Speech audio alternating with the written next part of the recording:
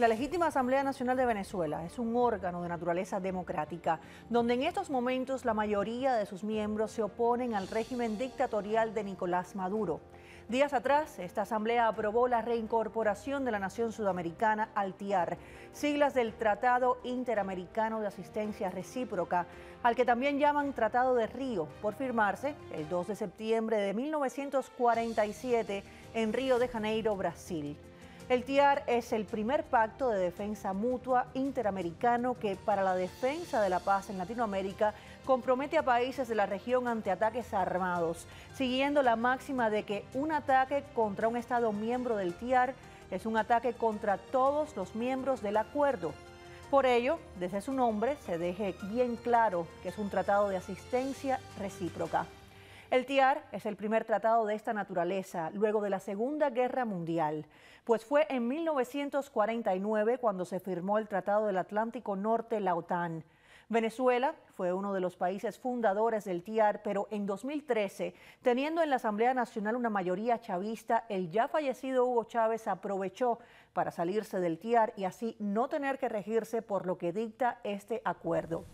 Según el artículo 3.1 del TIAR, si tiene lugar un ataque armado por cualquier Estado contra un país americano, será considerado como un ataque contra todos los países americanos y en consecuencia cada una de las partes contratantes se compromete a ayudar a hacer frente al ataque en ejercicio del derecho inmanente de legítima defensa, individual o colectiva, que reconoce el artículo 51 de la Carta de las Naciones Unidas.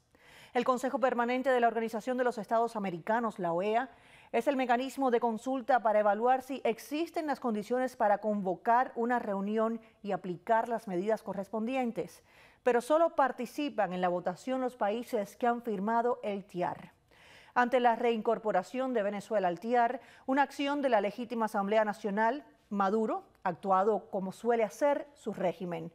El dictador ha amenazado con cárcel a los diputados que aprobaron esta medida y ha asegurado que el SEBIN, su policía política, está lista para apresar a los que él llama son los traidores del TIAR. La respuesta al usurpador por parte de Juan Guaidó ha sido esta. Vamos a ir sumando cada elemento para la victoria. Nadie puede ganarle a quien se niega a rendirse. Seguimos de pie como sobrevivientes. Han sido seis meses de dando la cara. Estamos de pie contra una dictadura que se cae a pedazos. Guaidó manifestó que se aproxima un choque de trenes contra el castrochavismo para lo cual considera es necesario la colaboración de sus aliados y de la comunidad internacional las más de 50 naciones democráticas que le reconocen como gobernante legítimo de Venezuela. El TIAR no es mágico, no es un botón que apretamos y mañana se soluciona todo. No es una solución, nos obliga a salir con más fuerza a ejercer la mayoría, advirtió Guaidó al reincorporarse su nación al Tratado Interamericano de Asistencia Recíproca. Algo que no pocos consideran puede ser una nueva carta sobre la mesa.